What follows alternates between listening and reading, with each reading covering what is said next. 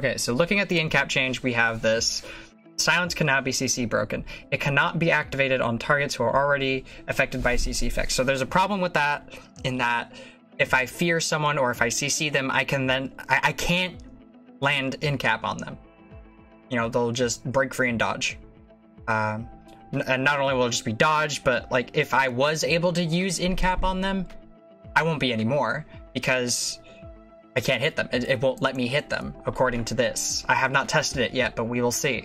Um, you also have to consider the fact that, like, I, I know they don't want to do double CC. I get that, you know. There, but there are better ways to not double CC. You can just not apply the silence.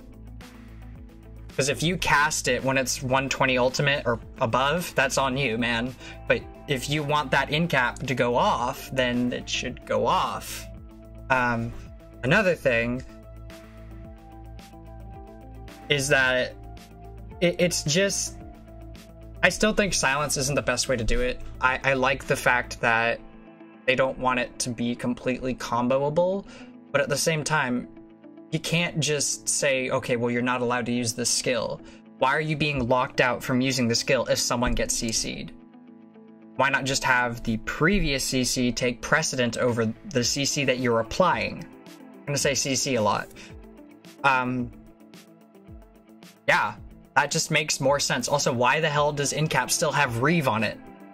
Um, Magblade could really use Reeve. In fact, Magblade needs Reeve in order to stay relevant, as far as I'm concerned, or something else needs to happen to the class. If you look at Nightblade as it is right now, Stamblade has been going up and down and up and down. It's been getting buffs, nerfs, buffs, nerfs. Magblade has been a steady stream of nerfs over and over and over and over. And um, the first the class rep said, "Hey, don't nerf Magblade. Bring everyone to the level Magblade." And then ZOS actually said they would do that. And then what have we seen? Magblade nerf over and over and over and over, and then the Healing Ward nerf, which affected everyone, and then the Magblade nerf again, and now it's happening again. So how do we keep Magblades relevant? I think putting Reeve on Soul Harvest is a great idea. Otherwise, you're going to see a lot of Magblades and Cyrodiil using Incap for no reason aside from Reeve and the fact that it still has the bonus damage. Also, the Silence is pretty helpful. You know, it, it's still a it's a stamina drain.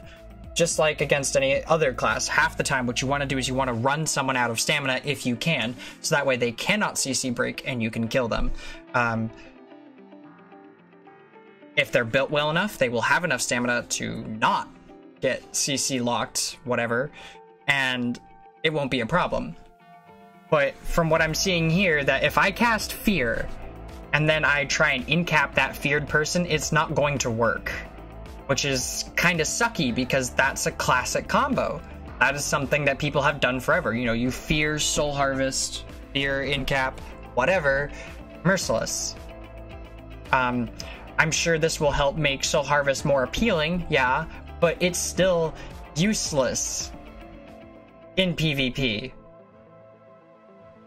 So, um, another thing is that if you look at InCap, it used to be something that was helpful for people who are questing or whatever. They're doing their PvE thing.